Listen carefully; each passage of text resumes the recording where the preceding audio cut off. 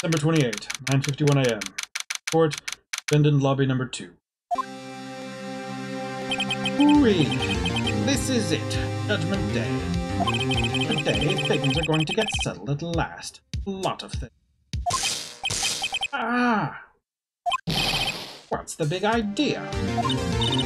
Sorry, Nick. I only touched your shoulder. Guess the shock hasn't run, worn off from my run-in with stun gun yesterday. Anyhow, today's the last day of the trial. Good luck, Nick. Yeah, thanks, Maya. Hmm. Edgeworth is looking glum, as always. I hope Von Karma doesn't push him too hard. Hmm. Oh! What are you doing? Sorry, I'm sorry. Just thought I'd cheer you up with a pat on the back. Maya, maybe you should go outside and discharge. Right, good idea. Try not to electrocute anyone on your way out. Oh, yeah, pal.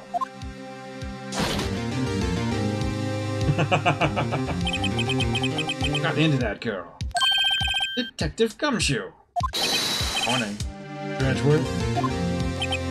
Uh, good morning. Did it go, Detective?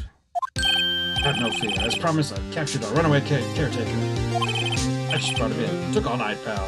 Thanks, Detective Gumshoe. You must be tired. Actually, that shock I got on the way in, I feel pretty good. Yogi says he's forgotten his name. But that has to be a lie. Why would he want revenge on Edgeworth if he couldn't remember his past? Does remember. I'm going to prove it.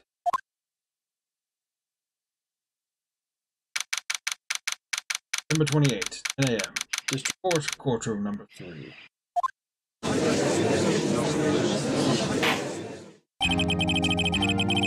Court is now in session for the trial of Miles Edgeworth. Defense is ready, Your Honor. Hmm. The prosecution is ready. Hmm? Right, very well.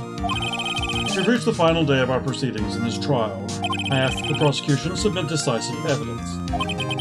Understood. Hmm? Come on, don't be awed into silence by every little thing he. Very well, Mr. Von Karma, your opening statement. Right.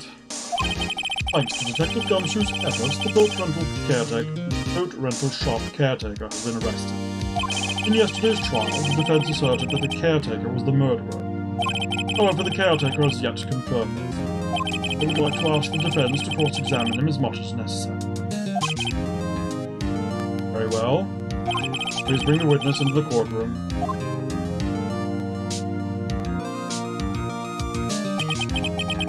Ladies and gentlemen of the court, I believe you all remember our witness. He lives in the boat rental shop on the lake from where he witnessed the incident. In addition, he has currently lost memory of his name and identity. Witness, why did you run away yesterday? The witness was not running away, as he will now tell. I, I see. Very well, please begin your testimony.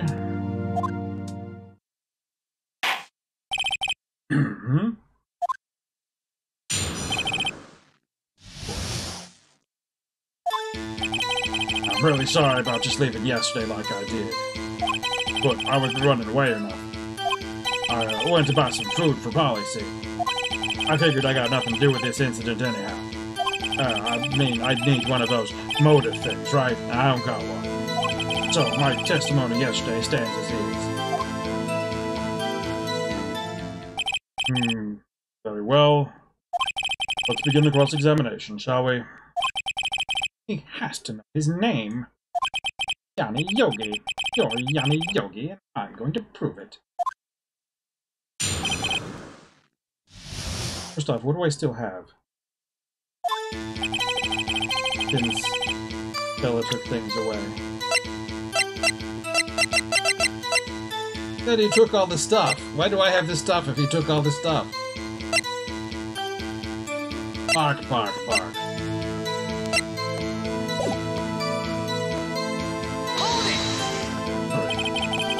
And what you did running away and not just leaving.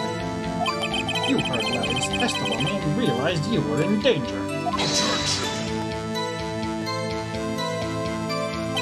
Now, Mr. Wright, there's no need to rush to conclusions. As I said, the witness was not running away. Listen to the testimony. Or seems relaxed. In fact, they both do, Von Karma and Yanni Yogi. Running away or nothing. Went to buy some food for Polly, really? The parrot was not cared for.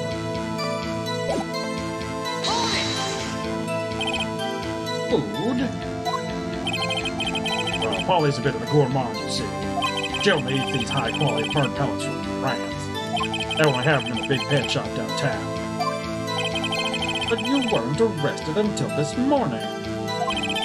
Why didn't you go back to the caretaker's shack? Oh, well, I kinda got lost. The witness has trouble remembering things sometimes. When the police apprehended him, he was on his way back to the shack.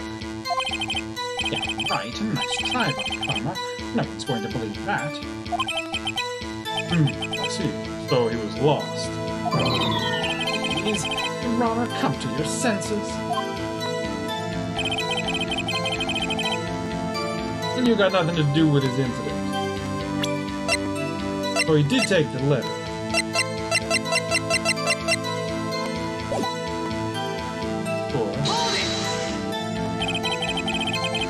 You lost much of your memory, is that correct? Okay, yup, seems like. And how could you know that you didn't have anything to do with this incident? Ah, Or... Or maybe you're lying about not having your memory, hmm? You know exactly who you are. the witness has testified quite clearly that he has no memory of who he is. Can't look it up. If you claim he's lying, then show the court proof. Okay, so what do I have that actually shows who he is?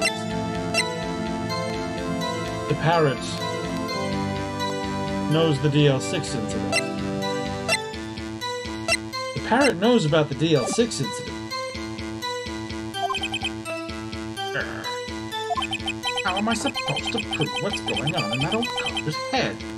Well, that's impossible. I'm glad you've come to your senses, Mr. Wright. Very well, witness, please continue.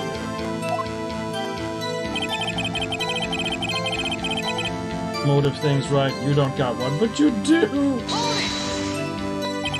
How can you say you had no motive? I say you do. You have a grudge against Edward and the victim, Robert Hammond. But that's why you took revenge on them, right? Please don't make me repeat myself, Mr. This witness has no memory of anything beyond several years ago. He can't hold a grudge, it's impossible. Prove he's lying about his memory. Otherwise it's going to be the same thing over and over until the trial ends. Might I say something, Mr. Wright?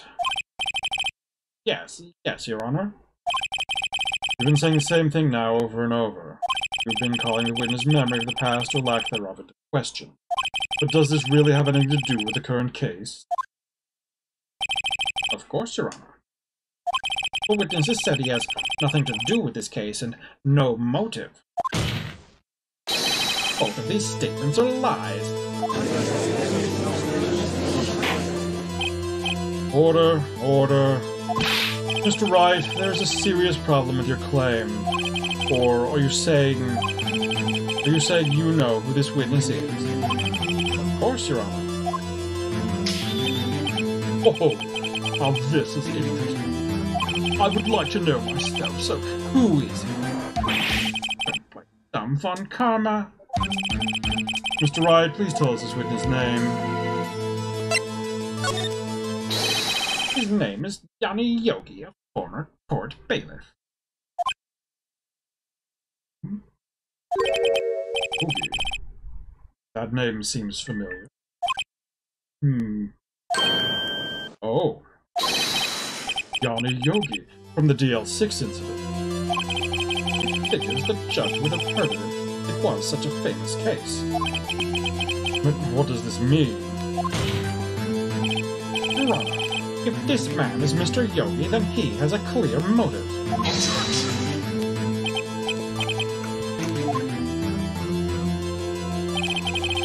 Jumping to conclusions again, Mr. Wright. This man, this witness, is Yanni Yogi. Fascinating. However, how do you propose to prove this to the court? Hmm. This is a court of law, as you may recall. You need proof. And allow me to repeat once more that the witness has lost his memory. It. I have to do this now. And prove his Yogi right here, right now. I've got nowhere else to go. Nick, are you going to prove it? Can you prove that he's Yanni Yogi? Okay. It's actually cool. Simple. Your Honor, please take this man's fingerprints. Then we'll compare them to the fingerprints on file for Yanni Yogi 15 years ago. See. That makes sense. Huh? I'm so very, very sorry, Mr. Wright. Why? The witness has no fingerprint. What? What? No fingerprints? Uh, you see, before I worked as a caretaker, I worked at the chemical plant. I've heard my fingers working with stuff. What? Yogi, you sneak! You burned your fingerprints off to hide your past. Hmm. Well, if the witness has no fingerprints, guess we will not be able to prove his identity. Oh, Well, what will you do, Mr. Wright? ah, Hmm? It seems that the case has been decided. no. I know what happened. I know everything. I, I just can't prove it. No, can't let it end like this. I can't lose. Has to be another way. There is no one who can testify as to who this witness is. No one. Nick, what are you gonna do? Didn't even consider that he might have erased his fingerprint. What do I do? Well, Mr. Wright? Perhaps you'd like to cross-examine his parrot for little comic relief, hmm? Yeah, yeah, very funny. You're a sore winner, Miss Von Karma. Wait a second. Cross-examine his parrot? What is it, Nick? Oh, you're not going to... Your Honor. The defense would like to take Mr. Von Karma up on his proposal. Take Mr. Von Karma up on my proposal. Exactly, Your Honor. I would like to cross-examine the witness's pet parrot. Order, order. Uh, well, what do you think, Mr. Von Karma? Need you even ask? The farce. Object. Wait a second. You were the one who suggested I cross-examine the parrot, Von Karma. I have a right to do as you suggested. Hmm. Hmm. Well, if you're so desperate, then please be my guest. Hmm. Of course, should you go through with this, and nothing comes of it, then I hope you're ready for the consequences. Nick, crazy. Well, still want to go through with your little game? Yes. Let the parrot take the stand.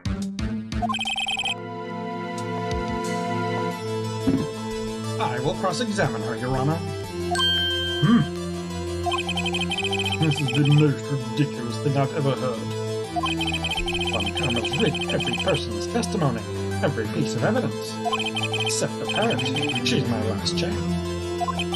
At least, I think so. Bailiff, bring in the parrot.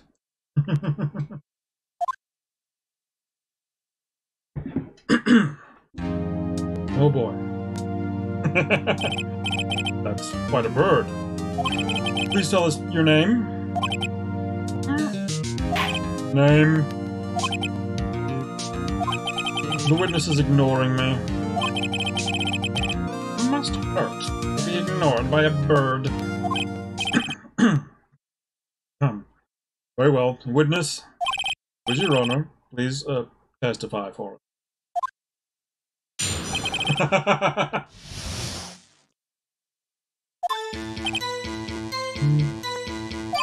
Hello, hello.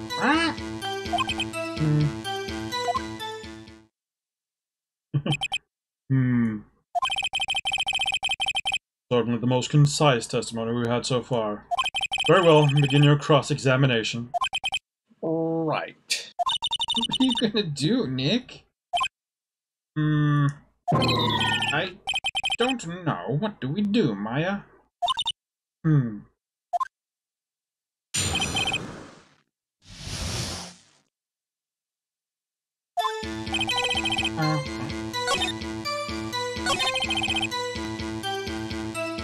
I don't present things to the parrot. I'm moderately sure. But we might be able to press the parrot.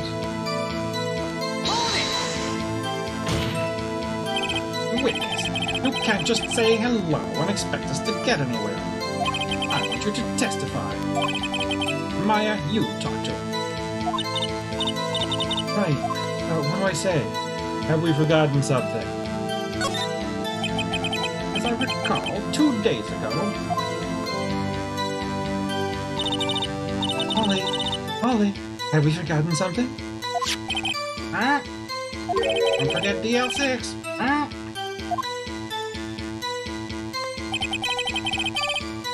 If I can get Polly to say that here, that will prove that the caretaker had something to do with DL6. Um, Have we forgotten something? Hello, hello. Ah. Not what you're supposed to say. Gosh, something. Something we forgot. Hello, hello. Ah. Oh, not working, Nick. She won't say it. This is ridiculous. Why won't she say it? Something the matter, Mr. Wright. Wait. Don't tell me Von Karma expected this.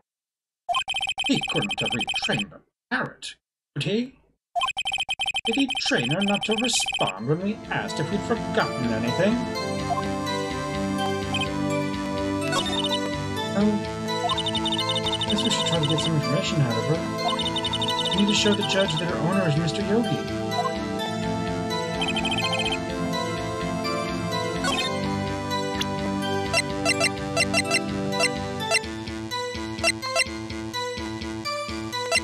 Hmm. I didn't press this one. Witness, you're here to speak. You must speak to me. Frankly, I can't believe that you're speaking to the parrot. I guess we should try to get some information out of it. Yeah. Okay, so how do we show what we have?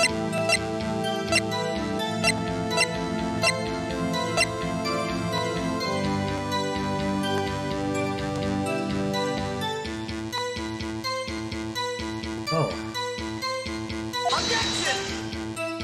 Objection. Your Honor, what do you think about the witness statement? Uh, I'm not sure I follow. It clearly contradicts the... I thought... You don't sound very convinced, Mr. Wright. Objection overruled. Don't think that wouldn't make any point judge. Okay, so... Do I just keep Pressing the parrot?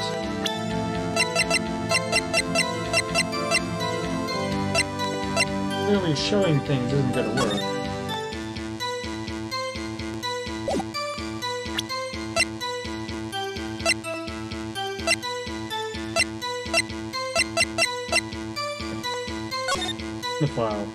A summary. Date 12-28-2001. Location, elevator, district courthouse. Air in elevator was oxygen depleted at time of incident. No clues found on the scene. Victim data. Gregory Edgeworth, age 35. Defense attorney. Trapped in elevator returning from a lost trial with son, Miles Edgeworth, age 9. One bullet found in heart. The murder weapon was fired twice. Suspect data. Yanni Yogi, age 37. Court bailiff. In elevator with the Edgeworths. Memory loss due to oxygen deprivation. After his arrest, fiancée Polly Jenkins committed suicide. Named the parrot after his fiancée? Be cutting cakes. That's not gonna do anything.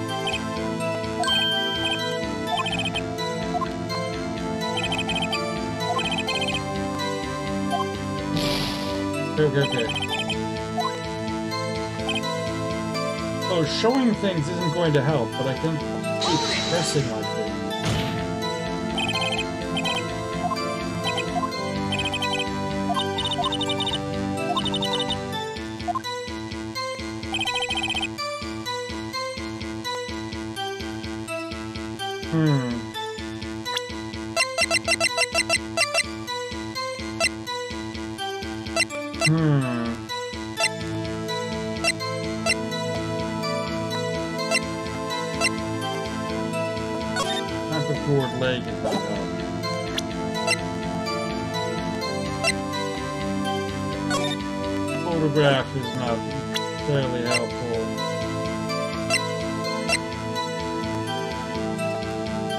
know what I'm to show.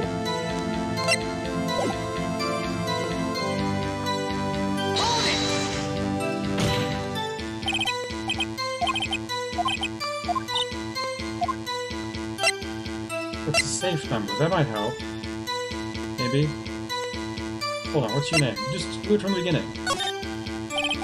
Maybe I should get her to say her name. Holly, Holly, what's your name? Holly, Holly, huh? Mr. Wright? I think we've established that this parrot is named Polly. Does this have anything to do with the owner's identity? Yes, it does.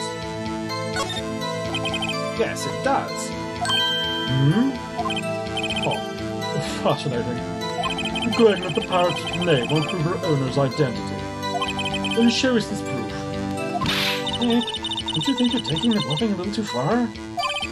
Listen, not here to answer the question of who is the caretaker, but here to prove that he is Yanni Yogi. All we have to do is tie the name Polly to Yogi.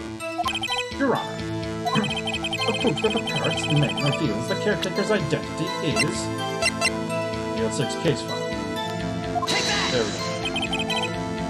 A DL6 case file? That's quite a large file you have there. Which page is the proof on Show us or stop wasting our time. Hmm. Well, Mr. Wright, please show us the page. Where in this file is the information connected to this parrot's name? Suspect data. Look at it again, just Victim data, suspect data.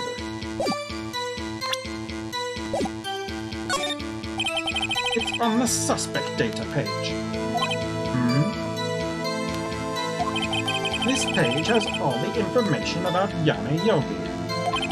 Right after he was arrested, his fiancée committed suicide, see? Hmm. It does say that, yes. What was his fiancée's name? Holly Jenk... Holly. Exactly, Your Honor. He wanted to remember the name of his fiancée who had committed suicide. And that's why he named his parrot after. Yes, that is possible. Not like you don't name parrots Polly and Kendall. Objection! Ah, oh, a mere coincidence, that's all. My granddaughter has a dog she calls Phoenix. Well, Mr. Phoenix Wright, does this make you my granddaughter's fiance? She's only seven years old. Indeed. Alone is a little weak for evidence in a murder trial. We would need some other corroborating evidence. Where am I going to find that? Nick, getting closer. More. You just get one more piece of evidence. Right. What? Hmm. Very well, witness, you may continue.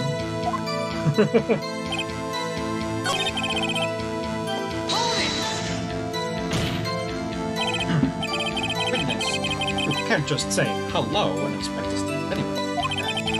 Want you to testify. I, you talk. Alright, this time you say safe number. Another thing that ties you. Maybe I'll get her to say the number of that safe. Huh? Safe? Why?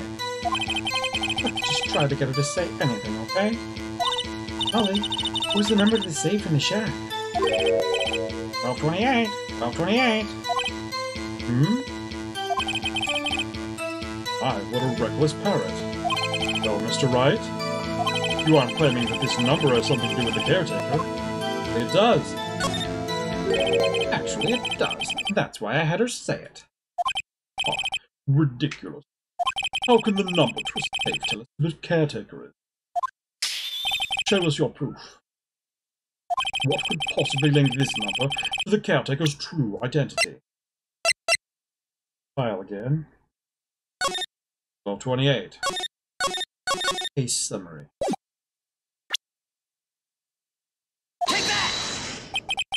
DL6 case file. What is the obsession you have with that case? Mr. Wright, where in this file is something relating to that safe number? It's on the case summary page. Case summary? Specifically, the date on which the DL6 incident occurred. Date of the incident, December 28. Why, that's today's date, 15 years ago. The number on that safe is 1228. Ah, He used the date of the DL6 incident as the number for his safe, Your Honor. That's how important that date was to him. he certainly is an interesting coincidence. People often do set their secret numbers to dates. Objection! Ah, this is not tangible proof. I set my ATM card number to triple zero one because I'm number one. This has nothing to do with the date. Nothing. That's enough.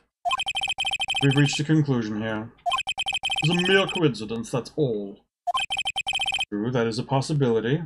However, two coincidences at the same time seems more like a pattern to me. What are you saying? Summon the caretaker of the boat shop. Immediately.